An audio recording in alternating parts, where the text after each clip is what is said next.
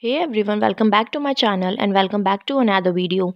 So Taehyung and Yumi's beautiful song and a gift to celebrate Tae's birthday has splendidly achieved number 1 on iTunes song charts in 100 countries. Wherever You Are is V's fastest song as a soloist to achieve this. It's such a beautiful song and not only this, Taehyung deserves much more than this.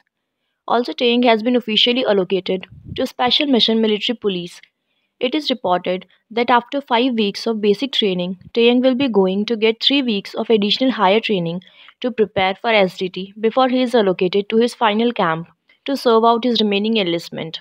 And the other details like exact location of training camp will be released on second week of additional training. There are various SDT camps across Korea. Now let's see where Taehyung gets allocated.